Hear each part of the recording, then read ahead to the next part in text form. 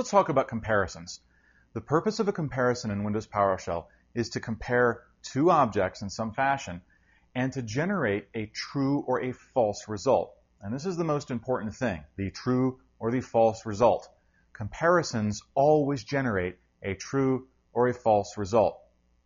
Windows PowerShell provides two built-in variables, dollar $sign true and dollar $sign false, which represents those Boolean values, and all comparisons result in true or false. Here are the basic comparison operators. They all start with a dash, and by default, they're all case insensitive, which means they're not case sensitive. Dash EQ is for equality. 5 equals 5. Dash NE is for inequality. 5 NE 6. 5 is not equal to 6. GT and LT are greater than and less than, and GE and LE are greater than or equal to and less than or equal to. These are pretty different from the operators used in other programming languages, but there's something you're going to have to get used to. And again, they are case insensitive when they're comparing strings. Let's use the variable dollar $sign underscore to represent a process. Just uh, think of this variable as a placeholder for a process that's running on Windows. So underscore dot handles dash GT1000 will compare to see if the process's handles property is greater than 1000. Or we might check to see if its name property is equal to notepad. Either of those comparisons can be expected to produce either true or false. Or we could just examine the responding property. See, because that property actually is either true or false, we don't actually need to compare it to anything. The end result of a comparison is true or false. If you already have a true or false value, you don't need an actual comparison. So here's a simple comparison of two strings of text to see if they're equal. And they are. I mentioned that these operators are case insensitive, and I can prove that with a quick test. Hello with a lowercase h is indeed equal to hello with an uppercase h. 5 is greater than 10 as shown here, and this ability to quickly evaluate expressions right at the command line is a great way to test expressions to see if they work the way you think they do. Here's a more complex expression. 5 is greater than or equal to 5, and 10 is less than or equal to 100. The first expression is true, and the second is also true. Since they're both true, the total result is also true. Next, 10 greater than 100 which is of course false. The second expression is 100 greater than 10, which is true. The two expressions are joined by the OR operator. So if either of the expressions is true, the total result is true. Since the second expression is true, then the final result is true. So now that you know how to do a comparison, you know how to do filtering in the pipeline too. We're going to use the where object commandlet. It accepts a collection of objects as pipeline input and examines each object one at a time. Only those objects which meet the criteria you specify, which have a true comparison, are passed down the pipeline. In your comparison, in your criteria, you're going to use the special variable dollar $sign underscore to represent the current pipeline object. Let's see how that works.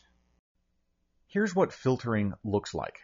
I'm again starting with get service, which produces several service objects. I'm putting where object into the pipeline to filter out the services I don't want to work with.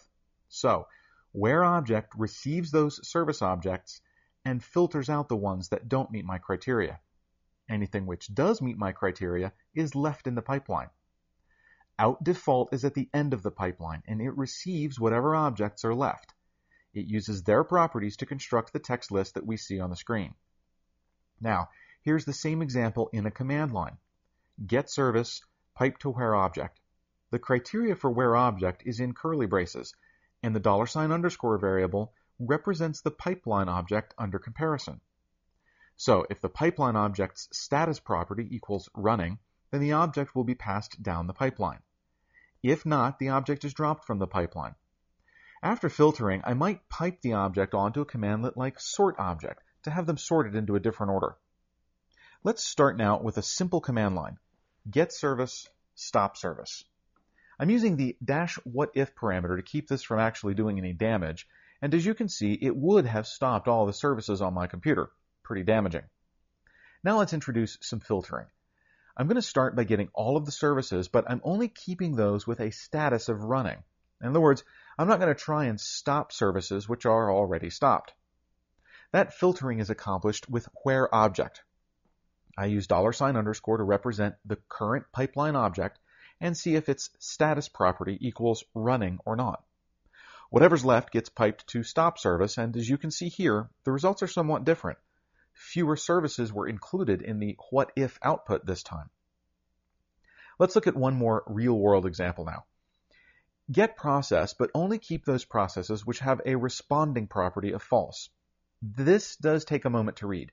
Remember that PowerShell comparisons are anything which results in true or false. It so happens that this responding property of a process is true or false, so I don't need to compare it to anything. The dash not operator reverses true and false, so that only processes with a responding property of false will meet my criteria and be retained in the pipeline. Hopefully, I won't have any non-responsive processes, and hitting enter, I see that I don't. Now, if you need to do a more complex comparison, or maybe you're looking at multiple different criteria and you're going to come out with one super result, true or false, you can use three other operators. Dash AND returns true if both comparisons on either side of the AND are true. Dash OR returns true if either of the comparisons are true. And dash not just reverses true and false. If we use dollar sign underscore to represent a WMI Win32 service instance, I could do comparisons to see if the start mode was equal to auto and to see if the state was not equal to running. If both comparisons result in true, then the total result of this is true. This combined comparison would show me services which are set to start automatically, but are not actually running. Now, I'm going to use WMI to retrieve all instances of the Win32 service class from my computer. I'm using where object to filter so that only those with a start mode of auto and which are not started will remain in the pipeline. In other words, services set to start automatically which are not started. That's a list you usually hope is empty too. Next, I'll use getEventLog to retrieve the events from the security log. I'm only going to keep those which have an event ID property equal to 4616 or 1108. Any objects remaining in the pipeline will be sorted by their event ID. This can take a while to run if the security log contains a lot of events, but as you can see, the final results are exactly what I asked for. A simple and easy way to filter through the event log without using a GUI. Most commandlets are designed to work with entire collections of objects at once, not just one object at a time. Piping get service to stop service gets all the services and stops all of them. However, you can have the pipeline do more complex things with an object, individual objects, one at a time, by using a commandlet called for each object. Here's an example. What if you wanted to reboot every computer that you had listed in a text file. Now you could use the WMI Win32 operating system class to do this because it has a reboot method, but you'd have to reboot each computer individually. You can't just say, here's a bunch of computers, reboot. You have to have to connect to each one and tell it to reboot. So let's take a look at what that looks like sort of graphically, and then I'll show you the PowerShell script that makes it happen. Here's why you need for each object. Let's say I use getWMIObject to retrieve a bunch of objects which represent the operating system of a remote computer. I need to be able to pipe that to something which will execute the reboot method of each one of those objects one at a time. Now what if I want to do this for a whole list of computer names so that I can reboot the entire list with a single PowerShell command? I'll show you. I'm going to start by reading a list of computer names from a text file I'll list one computer name per line in the file, and the getContent command will read that file and turn each line of text into an object that I can work with, a collection of string objects to be precise. Now I need to connect to each computer individually, so I need to work with each computer name one at a time. So I'll pipe the computer names to for each object. For each computer name, I want to use WMI to reach out to that computer and grab the Win32 operating system class. So inside the for each object script block, I'll put my call to get WMIObject.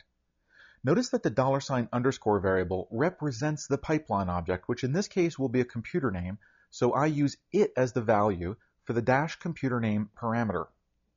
That WMI query is going to produce some results, and I'm going to need to work with them. So I'm piping those results to for each object. This second use of for each object is actually nested inside the first. I've uh, formatted the curly braces to try and make this clearer. So in this nested for each object, dollar sign underscore represents an instance of Win32 operating system.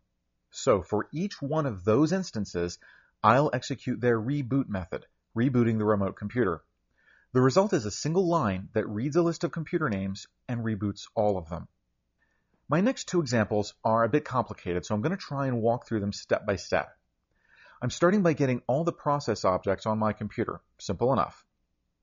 Next, I'm filtering them so that only those with a handles property greater than 1000 are kept in the pipeline. Any objects that meet my criteria are piped to for each object. For each one of those objects, I'm dividing the working set property by 1000 and displaying the result. So if 10 process objects met my filtering criteria, then that division operation would take place 10 times, once for each object that was piped in. Here's a more real-world example. I'm using WMI to retrieve all instances of the Win32 NT event log file class. I like to use WMI for this because unlike get event log, WMI can connect to remote computers. Those event logs are being piped to for each object, or rather, one of its aliases, the percent sign. That's right, punctuation can be an alias. Now, for each log file I get, I'm executing the log file's backup event log method. See, this is why getMember is such a useful commandlet. It was by piping win32nt event log file to getMember that I discovered the backup event log method. So for each event log, I'm executing that method. Inside the method, I'm specifying a path, as well as the event log's own log file name property, and then the .evt file name extension. This all becomes the path and file name that the event log is saved as. So in one line of PowerShell, I've backed up all of the event lines on this computer. And by simply specifying a computer name for getWMIObject, I could easily back up a remote computer's event logs. The trick here is to remember that whatever is inside for each object executes once for each object that's piped in. If getWMIObject retrieves four log files, then for each object we'll execute four times, meaning the backup event log method will execute four times. Each time the dollar sign underscore variable represents the next event log that was retrieved, allowing me to work with them individually. Spend some time studying this example so that you understand what it's doing. This is a real key to making PowerShell really work for you. Please pause this video now and follow the instructions in your lab guide to complete this lab. There are hints in the lab guide if you need them, and try to complete the lab without referring to the solution in your lab guide. When you're done, resume this video and I'll review a sample solution with you. Let's look at the five tasks in lab 8-1 to see how you did. For task 1, I run get process and then filter so that only those processes which are responding remain in the pipeline. I sort those remaining objects by name, and the results are converted to text by out default and displayed in the console window. For task 2, I use getWMIObject to retrieve the Win32 service class, and I only keep those which have a start mode of auto and a state which is not running. A useful enough tool, however, you might not want to look at this in the console window. A web page might be nice. So in task 3, I pipe my service objects to convert to HTML and then pipe the HTML text to out file so that I'm creating a file. Here's the results in a web browser. As you can see, any objects which were piped to convert to HTML have been converted to HTML format laid out in a nice table. For task 4, I start by launching a couple copies of Windows Notepad. I'll minimize those to the taskbar, and then run getWMIObject to retrieve the Win32 process instances. I'm filtering so that only those processes with a name equal to notepad.exe remain in the pipeline. you do have to specify notepad.exe, not just notepad. I found that out by just running get wmiObject win32 process and reviewing the results to see what sort of names were actually in use. So whatever's left in the pipeline goes to for each object, which executes each object's terminate method. As you can see, the two Notepad application windows close immediately. Finally, for task 5, I'm retrieving the content of a file called computers.txt, which is one computer name per line in a simple text file I made with Windows Notepad. For each computer name, I'm using getWMIObject to retrieve the Win32 logical disk class from the computer name specified by the current pipeline object. The result is a quick inventory of multiple computers' logical disks, all with a single command line.